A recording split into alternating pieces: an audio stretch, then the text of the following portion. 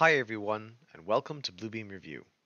My name is Ari, and I'm a Bluebeam certified instructor with Digital Drafting Systems. Today, we're going to learn how to create page labels.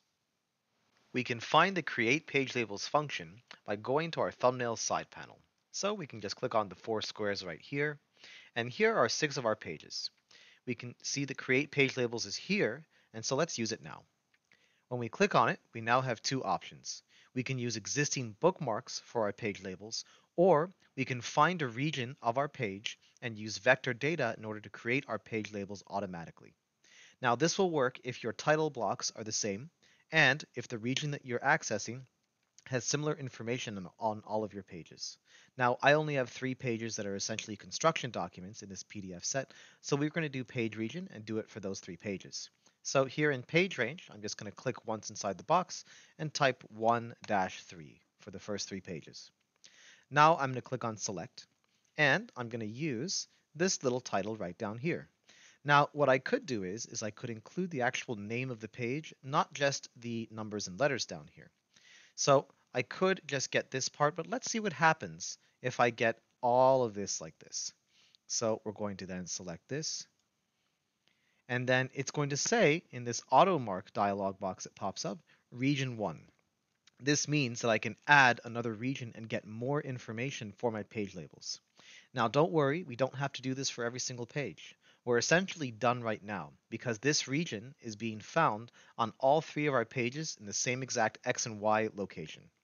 So we can just click OK. If I did click on add, I would use another region and that info would be added to our page labels.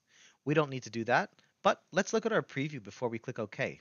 It looks like it's extremely clean and everything looks exactly the way we want it. Now, if we didn't want this text information, we could just get the A2.2 area, but let's leave it like this and see what happens. So let's click OK.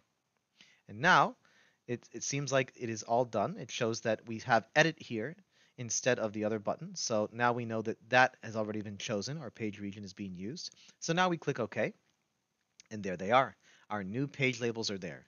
Now, it just so happens that these pages are all similar to each other. They're all older and newer versions of each other. So that's why they all say level 02 floor plan. But before I made this tutorial, I decided to rename the page numbers down here. So we have point 1, point 2, and point 3. And so if we mouse over our thumbnails in the thumbnails list, then we can see our full page. So if there isn't enough room here, you can always make your side panel a little bit bigger so you can read it, but it looks like it'll always cut off a certain amount of text. So I recommend that you keep your page labels a bit small. You don't really need to include all of the text in them, but if you want to, you can do that as well. That's not a problem. All right, so that's how we can use the create page labels function. Now let's move on to some other sub-functions of labels. While we're in the thumbnail side panel, let's look at this button here for labels. We can actually turn our page label on or off, so we don't need to show them in our thumbnails list. And we can also show our page scale. So it's very easy to toggle between that. And I'm just going to turn page scale back off because I don't really need to see that in my thumbnails list. Plus, it saves me a little bit of room in terms of seeing all my pages on one screen. Then we have the thumbnails dropdown, which I've talked about in previous videos, so we're not going to really go too in depth with that. So Let's go to our bookmarks area and let me just show you guys what happened initially. My pages were initially not numbered from 1 to 6. They actually had their own names. So this one is the floor plan that uh, has is the older version of a floor plan. I believe that this one is the one with markups. They all have similar names, except this one with Rev1 at the end is the newer version. And so these were my page labels.